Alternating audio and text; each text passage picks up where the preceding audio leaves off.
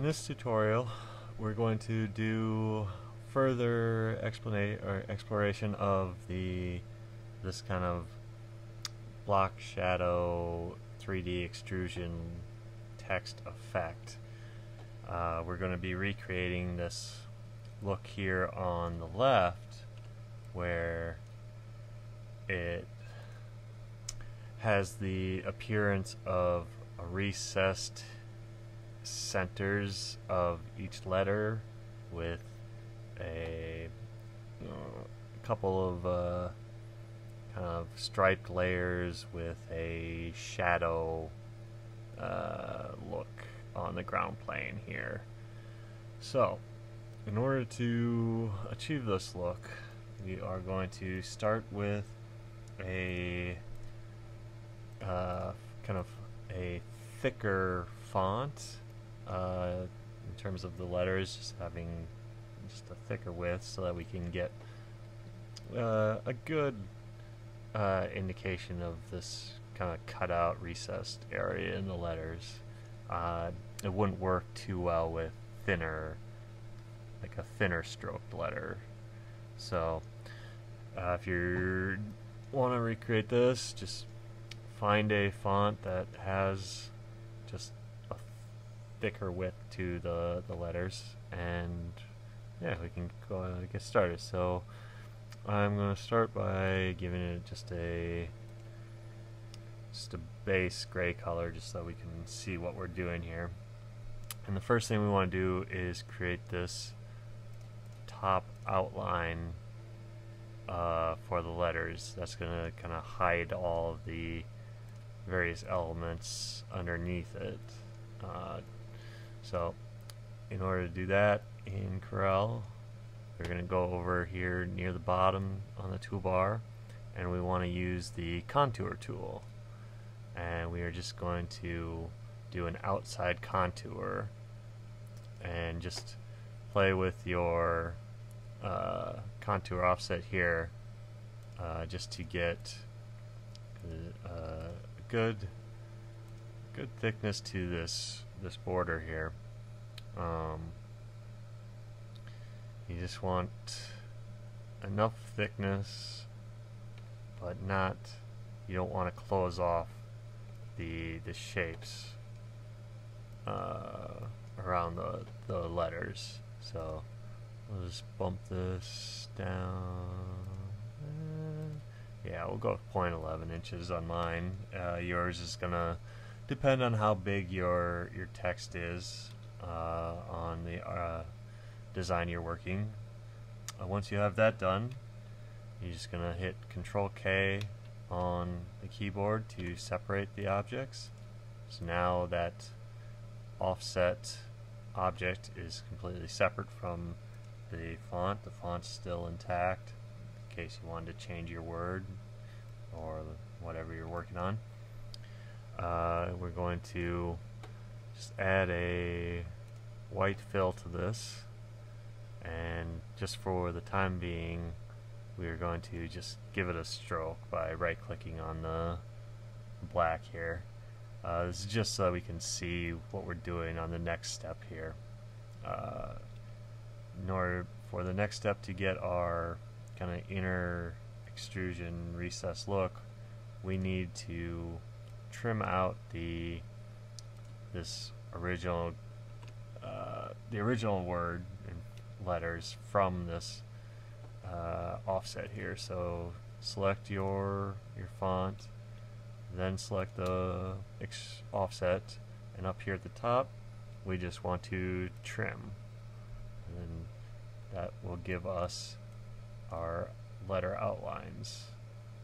And once you have that, uh, hit with the that trimmed offset, just hit uh, shift page up to bring it all the way to the top. Now we want to create this orange layer here that gives us this cut recessed look here. And in order to accomplish that, we're going to select our outline here and back in the same tool fly out here we want to use the extrude button this time. And you can do this dynamically with it selected. Just click and drag and hold. And for right now, it doesn't matter where you're dragging to. We'll fix that in a second. By default, the extrude tool gives you a kind of perspective extrusion. We want to change that to an isometric extrusion. So up here at the top, under the extrusion type, click this arrow, we want this bottom left one. That'll give us just a straight isometric extrusion. So once you've done that, come back down here and click click and drag on this little X here. And if you hold down shift, it'll snap into, I believe, 15 degree increments anyways. But if you go uh, to this bottom right corner, that's your 45 degree extrusion. So we'll just give it a little bit there. Um, and you can you can check to for sure that it's at that the correct angle up here in your uh, extrusion settings here they should be the same with one in negative. Um, anyways you want to play with your the depth of it so that you get a good kind of recessed look. Um, like you wouldn't want you wouldn't necessarily want it to go that far just because you you start losing that recessed look. It just becomes a little too hard to read so we'll we'll bring that back in a little. Um, yeah that, that, looks good. Once you have your uh, extrusion depth set at the the length you want again on the keyboard hit control K and that will separate your uh, extrusion from the outline into separate objects. And uh, uh, once that's done we'll just give it our our orange color here by just copying the fill. And then hitting control R to duplicate the last action. And uh, looks like because the because the outline here has an a stroke on it the extrusions also have a stroke. So we'll just right click on this X here to get rid of that. So we only have the fill. Uh, once that's done we want to create just this extra little striped extrusion uh, in order to do that, uh, we want to, uh, we're going to use our block shadow tool, but we need to, uh, actually, let's do this here. So with your outline selected, go back over here to the toolbar and click on the block shadow tool and we'll just hit negative 45 into our angle and we're going to move it all the way to the back just so we can see how far we're extruding. Uh, we're going to move that shorten it. And go 0.4. I like that that amount of actually we'll go 0.45. Yeah. Go 0.4. Uh, once you have that done, again, hit Control K on the keyboard to separate that block shadow extrusion from your outline. And right now the outline is sitting behind the orange extrusion for in order to get that last step accomplished. So we'll just click the, the outline, white outline again and hit shift page up to bring it all the way back to the top. Uh, last thing we want to do is get our, uh, well, actually first we will give the colors, um, actually I want to do this, go like so, and we'll add this color to that,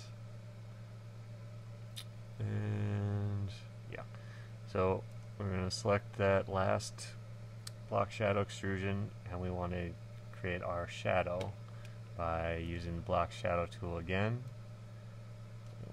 Go again at negative 45 angle and give it eh, a little bit more lengthy shadow this time. Yeah, like that. So hit Control K on the keyboard and we want to make sure that our extrusion is black and then on our transparency tool we just want to set the multiply to something like 75 or actually 60 just to so it uh, actually let's give it 70 Alright, now that we have our uh, shadow done last thing is we want to just get rid of the black outline around the white objects here and yeah. Uh, yes. One thing you may notice with the extrude tool when you don't have an outline on the extrusions sometimes you get just kind of this little artifacting where the the two objects don't butt up completely. So in order to uh, remedy that, if you click the orange extrusion parts and go up the top here and we want to ungroup all and then we want to weld all the objects. So now these pieces are is just one solid piece here and uh, this is yeah this is uh, okay since I want these extrusions to be just solid colors. Uh, if you were going to have like different uh, shades of the orange for under the underneath parts the horizontal parts versus the vertical parts, then you would have to manually go in and on each part or extrusion part and uh, weld them individually just to keep them as separate objects. Um, anyways, uh, yeah, the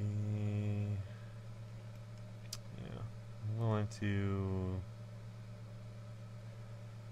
so the last thing I want to do is is to darken this this color here. So we'll just double click on this little swatch down here and we'll just darken it up just a little bit just so we get that that effect to pop the the the word on top of it. Uh, but yeah, once you kind of have these steps down, you can apply this to virtually any